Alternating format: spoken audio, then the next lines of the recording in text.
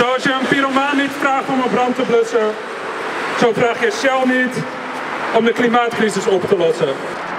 Al in 1986 sloegen de wetenschappers van Shell intern alarm over de klimaatcrisis.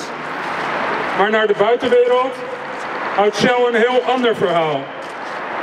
Sinds de jaren 90 is Shell bewust bezig met een desinformatiecampagne om de wereld ervan te overtuigen dat er geen serieuze maatregelen nodig zijn om de planeet te beschermen.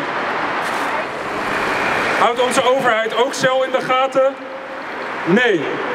Dit ministerie, het ministerie van Economische Zaken en op papier ook Klimaat, nodigt Shell uit op de opening van de Nationale Klimaatdag.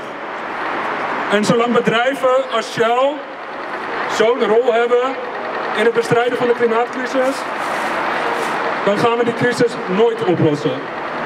Shell is geen partner in het oplossen van de klimaatcrisis. Shell is een dader. En dus zeggen wij tegen het ministerie, haal Shell van tafel.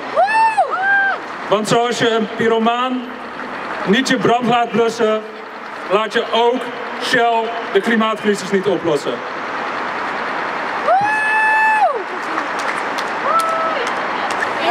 Richard!